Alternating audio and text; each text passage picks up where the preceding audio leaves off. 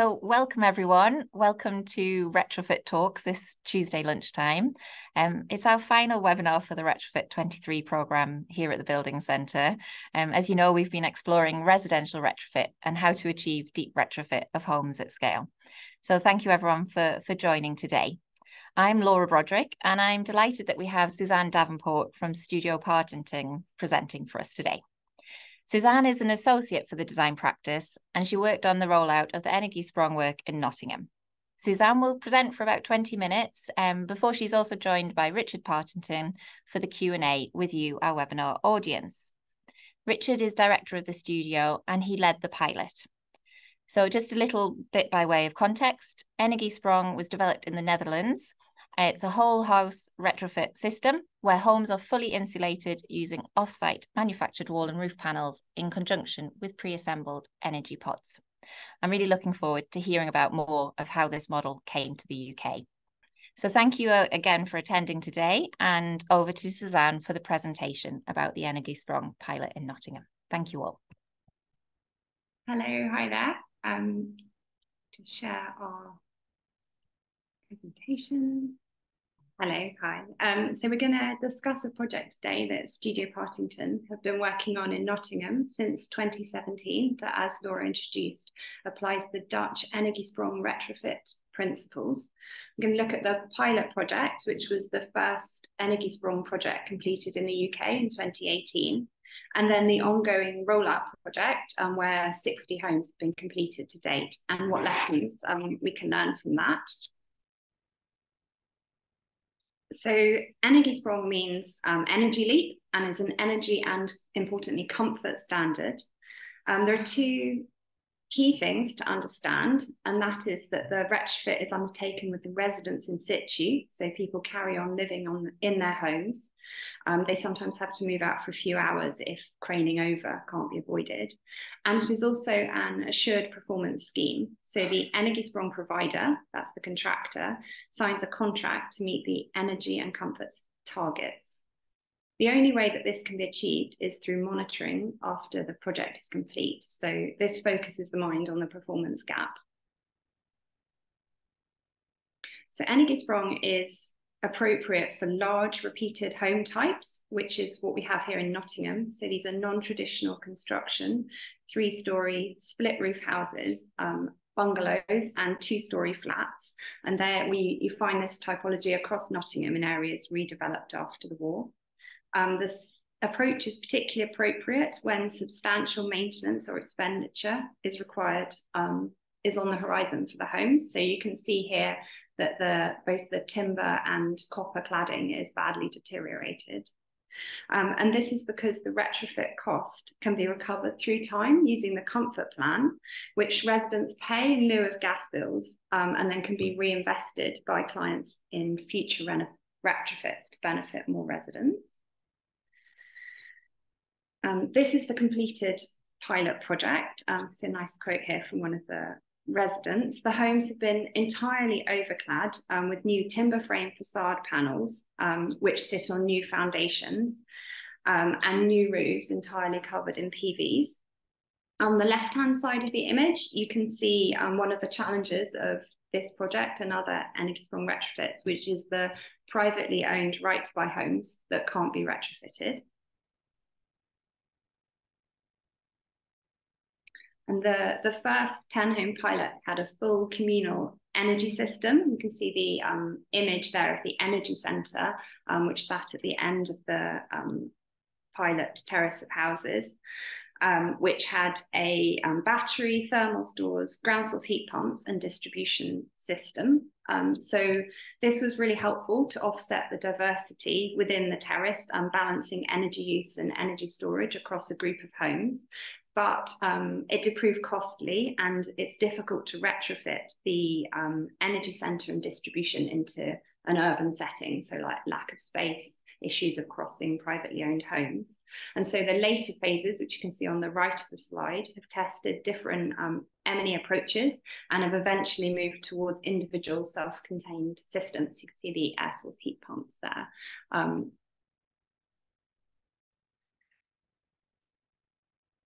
So engagement with the residents is key to the approach, and the retrofit is discussed in tangible terms of being more comfortable, or if you've got residents in fuel poverty, being actually able to heat your home um, and paying the same or less as before the retrofit if you use the same amount.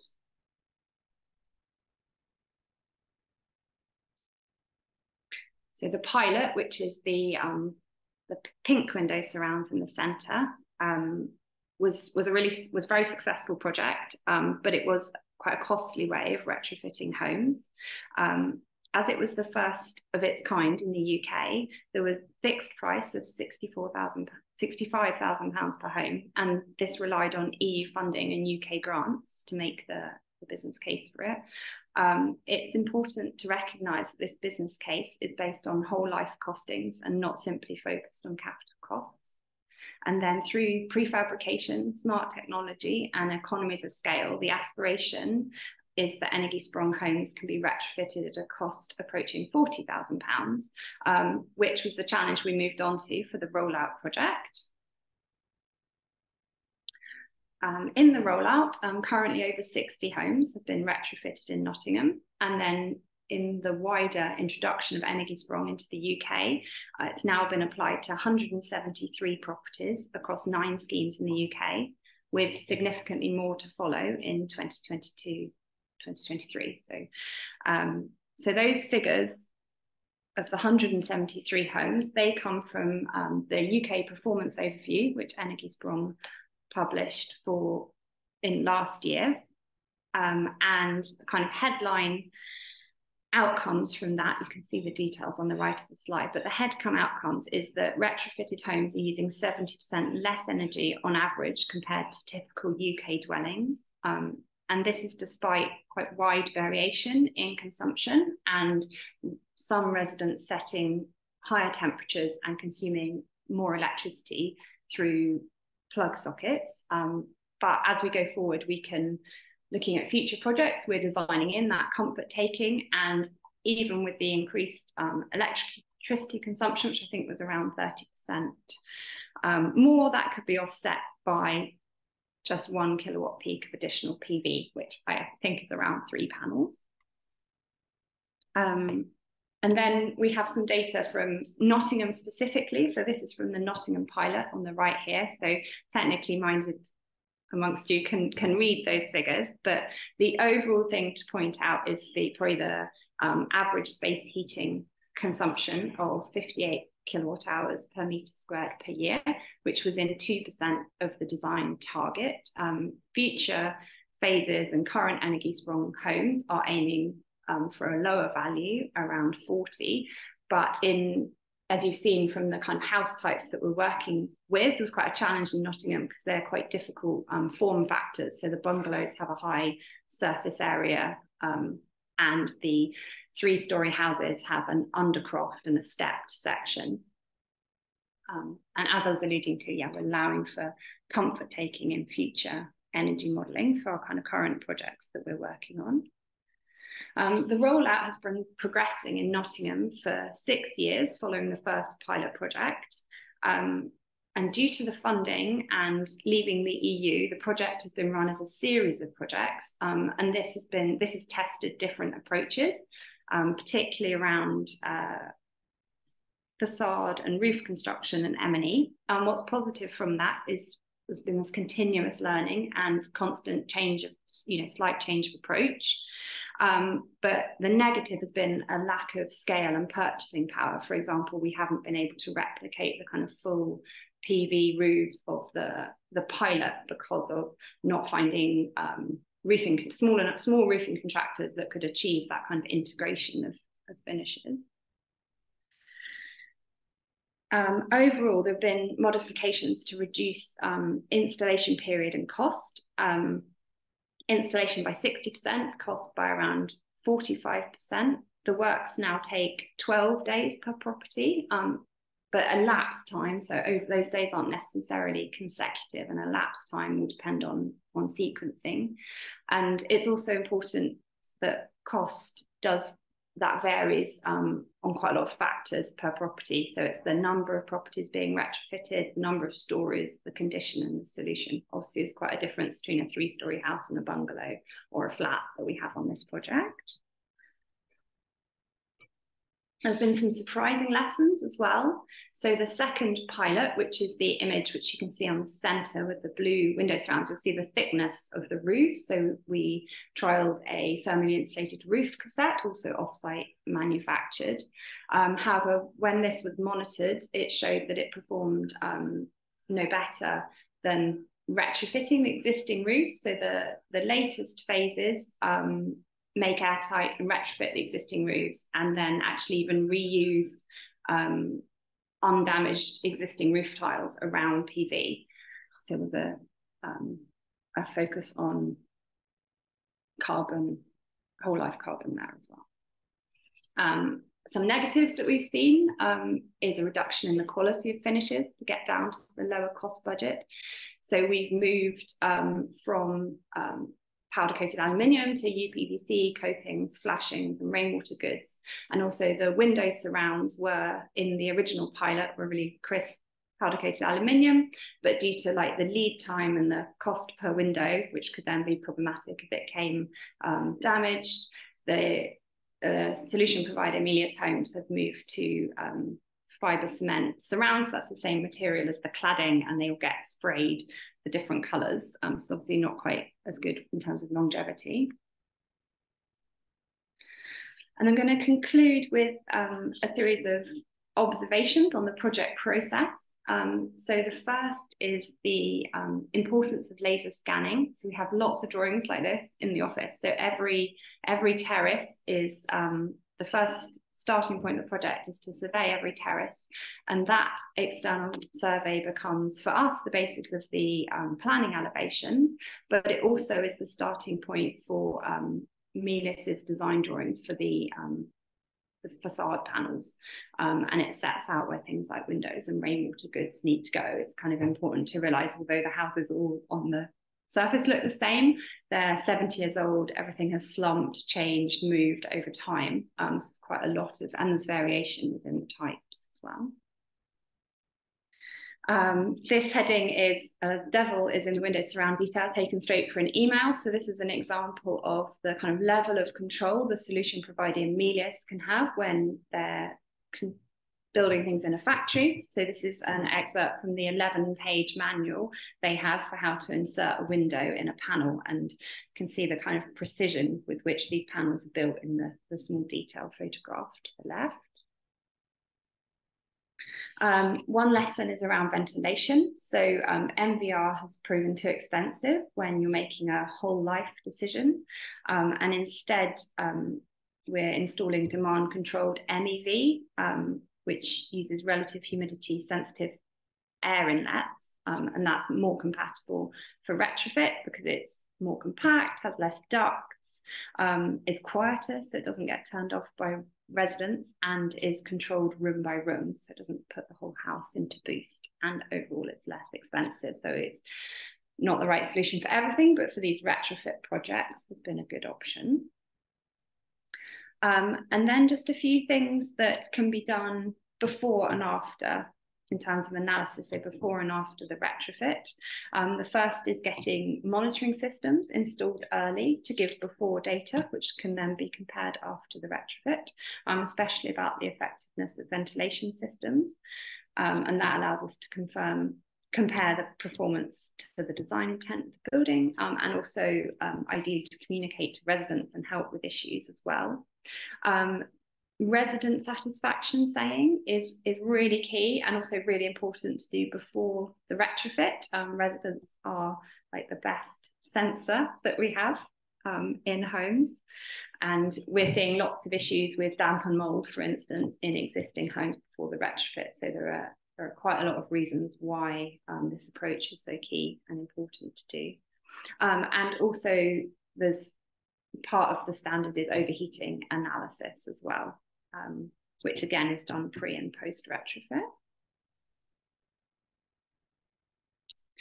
What we're seeing um, in Nottingham, I think what really stands out is that um, the contractor, the retrofit contractor, has to be a specialist at working in people's homes while they're occupied. This is a totally different way of working than um, even large contractors, specialist contractors would be used to, um, and involves um, a large amount of liaison and kind of clearing, packing up, putting things back at the end of each day, for instance, and sequencing as well.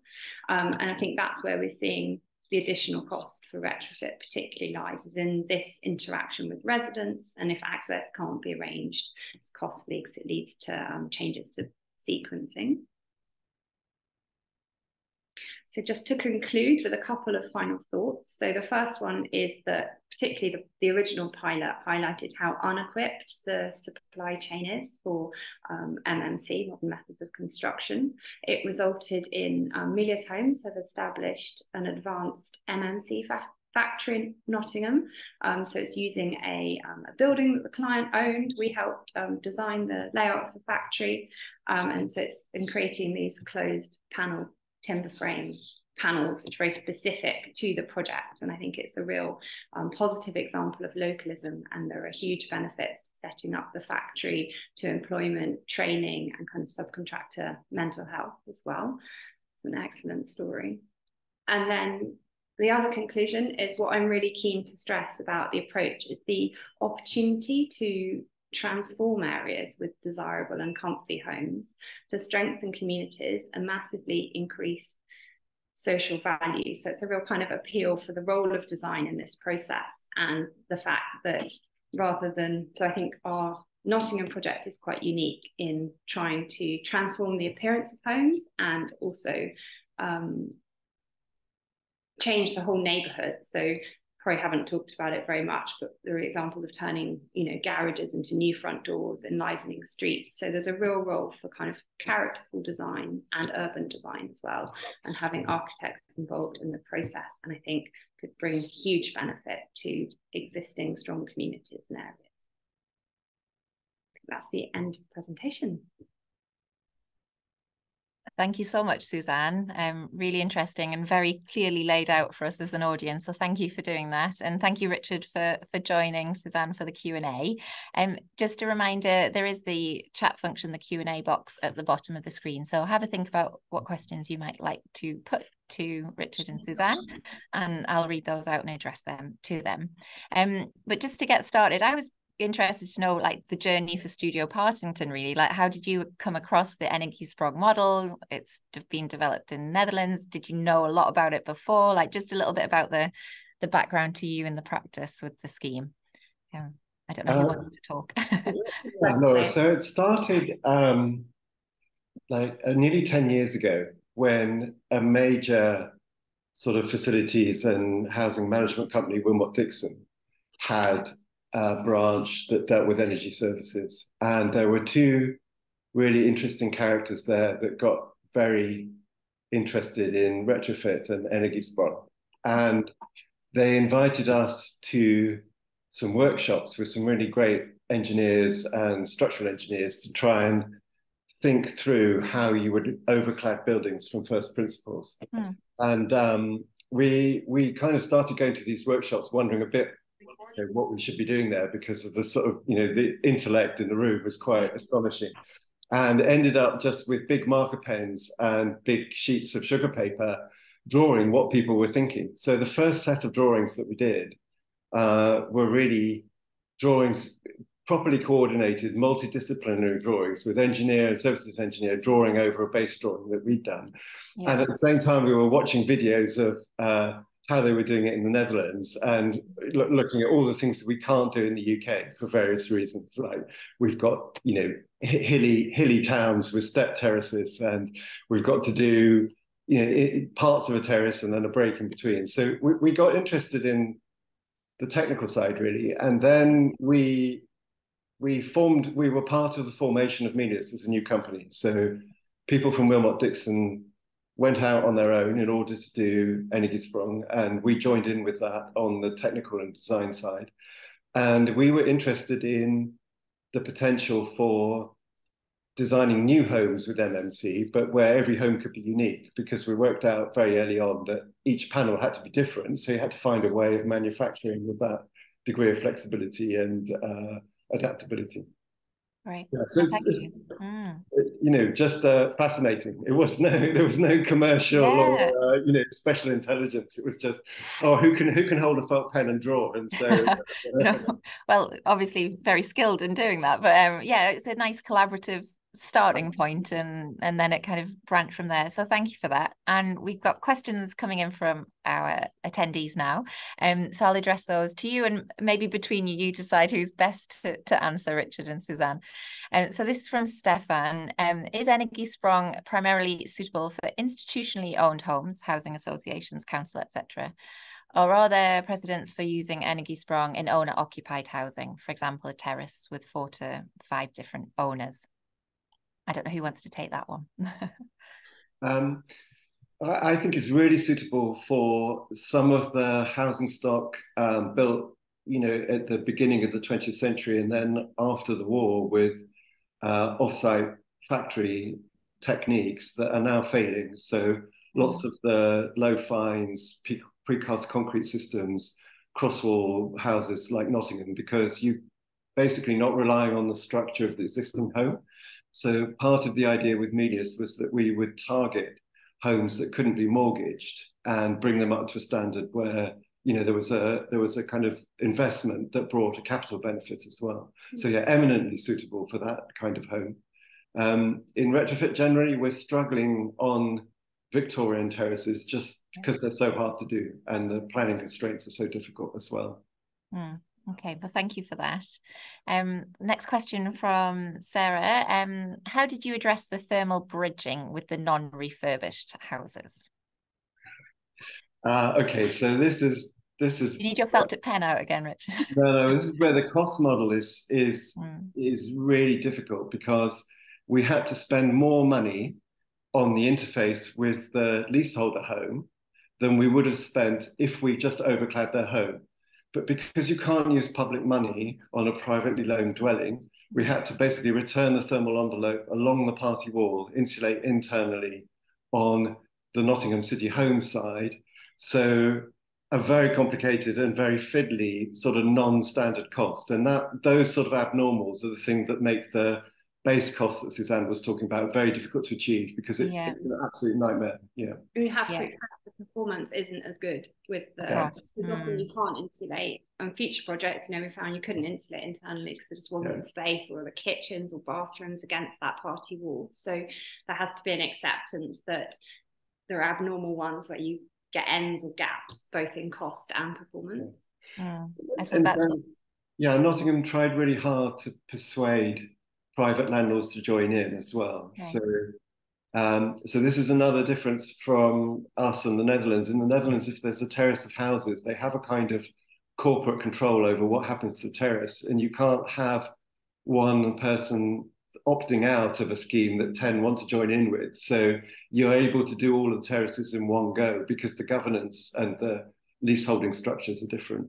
That's interesting to know. Yeah. And um, have you noticed with the development that there's been less of those problems, more owners are actually coming on board, or is it hard for you to track? And um... I think um, the rollout, so it, ha- it has stayed just as the um, the social housing that's been done. So we still have those right to buy gaps. Mm. But into and that there is in Nottingham, it's different in different areas, but in Nottingham, tenants are actually allowed to opt in and out okay. as well, which has caused some some sequencing issues. Although okay. I've heard uh, reports of like people being really, you know, wished they'd had it done um, once they'd yeah. seen what happened. So um, it's it's quite few and far between, but it has happened and it has yeah. impacted the program, and that's partly why you see it taking quite so long. You know. Mm. It has been a six-year process, and it is really hard to do. Yeah. Really if um, if government pushed harder and made it really clear to private landlords that they need to get homes up to EPC C or B, if that was mm. just publicly understood, then lots of those leaseholders would join in straight away because it's a really easy sort of you know very convenient leg up to getting to the standard they need. But unfortunately, yeah. because there's so much uh, ambiguity and so little direction around the upgrade of the you know rented stock, mm. there's not really the interest or the or the incentive. Yeah, the motivation to do it. Well, yeah, thank you for explaining all that. Super interesting.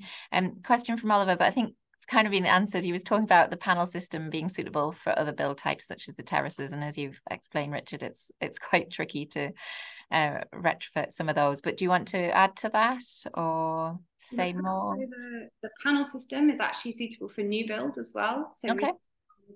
Housing development in Derwenthorpe in York. There are, I think it's two homes there that Melius Homes constructed. So they look exactly the same as the rest of the estate, which is either built traditionally or using, um, it does use some MMC, so thin bed masonry and SIPS panels for the roofs.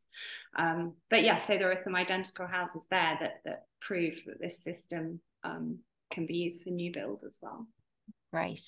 Um, lots of the questions just continuing the story really. So um, how much complexity do you think would have been either added or avoided should the project have also been able to include the privately owned homes? Uh, so the first drawing, when I do the talk about all the things we confronted when we started, the first drawing we did was just drawing the terrace as it was and then trying to imagine the walls and the roof being 350 mil wider mm-hmm. and then changing when you get to a leaseholder home. And everything is difficult. So you've got the return where you've got to close the end of the panel. You've got gutters running at high level that have to step in and out. You've got a roof that was drained perhaps by two neighbors that then needs to be drained independently. You've got services running along at the base of the terrace that you're moving outwards for mm. all the retrofitted homes because you want all the drainage to be another meter away from the foundations but then you're stepping in or changing for the existing home so it's it's an absolute nightmare i mean it's you know if Margaret Thatcher was alive now and she could see her legacy, she would realize how complicated right to buy has made, you know, yeah. this this whole challenge. Yeah, um, the, yeah, all the different variations of it. Yeah. Um, and along those lines, I suppose, uh, Patty, my colleague, is thanking you for the presentation. Um, she's curious to know what was the most unexpected challenge of the project. Um, like you've obviously talked about some of the challenges, but the most unexpected uh, it's it's leaving people it's having people in their homes while you're doing the retrofit so um, everybody was really enthusiastic about that you know because if you have to move out for five or six months and your kids maybe have to change school and you've got yeah. to it's such an upheaval um, but we discovered things like the garage undercrofts that Suzanne mentioned. Actually, people had them as a bedroom, you know. So when we took the wall away, and there was like furniture and bed and bedside table, yeah. And then the problem of just coming back. So the panel comes complete, but you've obviously got to take the old window out and then make a junction for things like a window sill and a surround that's airtight with a new panel. It's just the coordination of doing all of those things around people's everyday lives is really, mm-hmm. really difficult. And, and that's the single thing that I think Melius didn't account for. And it's Suzanne's comment about having expertise in managing those processes and managing and coordinating the times when things can happen and how you leave somebody's home and yeah. when you know who's going to be there what their role is every you know it needs a lot of explanation because people are often quite vulnerable and quite anxious about you know builders traipsing around um, so it's, it's a difficult challenge i'd say Melius like didn't account for it they've actually got incredibly good at it so when mm. you go mm. back it's really striking. You know, it's not set up or anything, but how many residents are, you know, at home come out to tell you, like, even though there's still work going on, how many years later they come out mm. to tell mm. you how great it's been and, and there have been lessons and improvements of what richard was just talking about about the kind of internal window detail where you need to make good once you put the new facade with the windows already in it um, mm. Have um, prefabricated that so now okay. it's just like a single element that gets taken into people's homes it can be done much quicker less yeah less disruption and yeah they've made progress with making it easier for residents as well Great. Oh, that's amazing. It's the lessons learned and kind of changes for for the good coming. So that's great. Okay, moving on. Um, question about it's from Chris, who's Letchworth Garden City Heritage linked person. Um, in Letchworth Garden City, steps and buildings caused by extra insulation and difference in ownership is viewed poorly. Were there any planning issues that had to be overcome? And do you have any tips for putting forward an argument that the contrast creates architectural interest? And a compliment for your presentation. Thank you. So um, so I think planning was like it's a really good story here. So it's really strategic. There was um, real kind of like interest in the the system and political will, and we were able to um, in terms of kind of procedure and process, we kind of high level planning meetings, and then actually the individual applications for all this work were able to be done by leaseholder applications. Um, so sorry, yes, that's right, isn't it? Yeah, well, sorry, homeowner, that's the right word.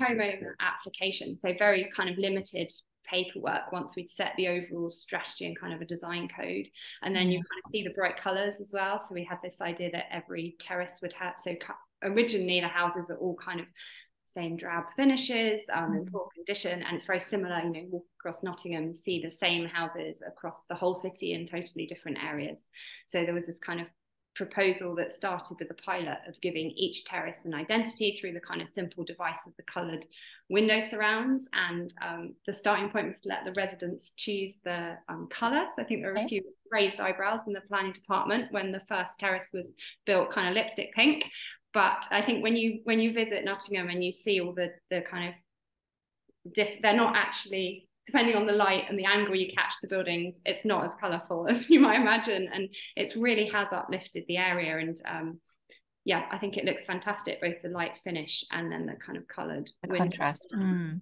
Kind of transform the appearance, and that's possibly something that we're not seeing in subsequent Energiesprong scheme. So we're really trying to highlight, you know, that you can have this sort of urban design and overall mm. identity. Yeah. yeah. I think there is a real difficulty in retrofit, um, especially in a historic context. So if you're thinking about Letchworth, where some of the quality is in the kind of consistent approach to the way homes were made, the kind of craft tradition. Some of the quality is in the landscape and the public realm and it's sort of more obviously straightforward, uplifting an area that's very sort of run down and and neglected. Neglected, I think in Nottingham's case, because homes were getting pretty much to the end of their planned life. And one of the things that I worry about is that the the end result of a retrofit is a home that really doesn't look as good by any standards as the original home, being a real disincentive for people. So mm. when you see brick homes clad in very regular plastic bricks, you're thinking, you know, is this really an improvement? And and I think that Letchworth question is a really interesting one because you you would need to be able to find a solution that people can see is actually kind of visually and also in in you know ethically and and uh, in terms of the kind of spirit of the place consistent with what Letchworth's about. Having said that, Letchworth was the you know one of the starting points for you know exhibition homes made in factories. So it has a tradition of kind of tackling these things as well. Yeah, innovation or yeah. Yeah, yeah. I know it's interesting to think about the architect's role in delivery, but also the design and yeah, yeah. Hmm, interesting. Um next question then. Um, can you say a bit more about the support you received from Energiesprong, both at design stage and for the contractor upskilling trades? So I think so Energiesprong see themselves as like a helping hand kind of organization. So they are there and they support kind of everyone involved in the process. They offer support to like the landlord, so the local authority, um, and they can be involved kind of at strategic stage, helping like what we were just talking about, what's most appropriate for Energiesprong retrofit, where are those homes that are most difficult to do, basically both in terms of like the actual construction of the home, um, how poorly it's performing, but also in terms of the residents in the most need. Um, and then they can, they also, they support the, um, the solution providers, so the contractors, they're called solution providers because the innovation is that they um, guarantee the performance for up to 30 years. Um, so the support there from Energiesprong, so like doing the kind of occupant surveying, helping with the monitoring, helping explain the performance um, requirements, because it's like a whole spreadsheet of it's not just about the kind of space heating. Um, there is a whole um, model there based on the kind of average consumption for residents, or they can always use more. Um, and then they also support the, to some extent, support the residents themselves as well. So once the kind of monitoring is in place, they can answer questions. Yeah. Lots of roles. yeah. yeah. Culturally, though, Energiesprong is really miles away from the traditional route to improving the housing stock. And it, we found it's very helpful to have Energiesprong's kind of expertise, but trying to explain to housing association and local authority asset managers that you need to think about these things in a rounded way. Think about comfort, think about ventilation, think about improving the home, think about improving the layout. It's so at odds with the kind of mentality, siloed mentality of we do kitchens on a five-year, you know, renewal program, and we replace roofs two years after somebody reports a leak, and we'll do the windows every, and and we haven't a hope if we carry on like that because the kitchens get replaced and the opportunity of improving the insulation behind kitchen cabinets is lost, you know, or the windows get replaced and nobody's understanding how the window performance interacts with the ventilation. Mm. So Energiesprong are brilliant at trying to get everybody to understand what's involved, but it, it's really frustrating, um, really, really frustrating trying to get the message across that you mm. can't do it in a piecemeal way if you want to be successful with retrofit. It's a challenge funding factors as well. So if they're coming yes, in from a background, so we're maybe seeing a lot of larger contractors coming in from a kind of maintenance background, um, you know, where the remit might have been replacing kitchens and bathrooms on a kind of rolling program. Mm-hmm. To have that team try and understand what Energiesprong is and a kind of whole house deep retrofit, that is that's a big challenge as well that we've seen on some subsequent projects too. Great. No, thank you for explaining that. Um, really good to hear. Um, or not good to hear because we know there's a, a long way to go on the upskilling and the financing and lots of aspects of just how we work to deliver these retrofit projects. Um, so final question. Um, so question about funding. Like, is there funding and grants available for private landlords? I assume through Energiesprong, um, although that wasn't explicitly stated, but I assume that's the focus. uh, um, I must admit we're not we're not necessarily the best people to ask that question. But the last time I looked in the general retro- retrofit sort of sphere, it looked as if all of the money was being directed to housing associations and local authorities through the social housing decarbonisation fund, fund. Yeah. Mm. Uh, or to um, private householders, so not necessarily homeowners, but private householders, but people who had demonstrable needs. So uh, generally receiving benefits or some support of some kind. So there's a sort of gap in the middle between the, the very needy and then the much larger organizations that are actually managing housing. And I think that that looking back, that sort of funding for private individuals disappeared about five, five, six years ago. So mm. after the demise of um, you know the, the, the Green Deal and initiatives like that. We're, we're not we're not best placed to answer, but that's that's my understanding where it is at the moment. Yeah, no, that's that's a, a, a good broad answer, Richard. So I'm sure um people can look into things further through the retrofit program as well. So um thank you both. Thank you, Suzanne, and thank you, Richard, and thank you everyone for attending today. Um just a few closing notes from me. Um as I mentioned, it's our last retrofit talks, our last webinar for the retrofit 23 program. Um so yeah, just appreciate everybody joining us. Um, this particular recording, um, this event has been recorded and we'll post it on our Building Centre YouTube channel and on our website as soon as possible. So you can watch back, share with friends, colleagues who maybe couldn't make it today. Um, do feel free to, to keep in touch with the Building Centre's retrofit programme. We haven't finished, the webinars are finished, um, but we've still got our in-person panel events in the Building Centre on Wednesday evenings, if you can make those. So tomorrow night we actually have an event on finance. So the person who asked the finance question, if you can make it, do come along. Um, that starts at six o'clock and can be booked via the Eventbrite system. Um, we've got other topics coming up looking at um, retrofit of scalable solutions, district heating, fire safety, lots of topics that influence the retrofit um, jigsaw puzzles. So yeah, look out for those on the buildingcentre.co.uk website. Um, and in terms of the webinars, I just want to give a shout out to some colleagues. So thank you to Patty D'Souza, who's been alternating co-hosting these events with me, and Michael James, who's been doing all our technical setup and support, and then our director, John Bonning, for basically promoting the retrofit topic and agenda here for the centre.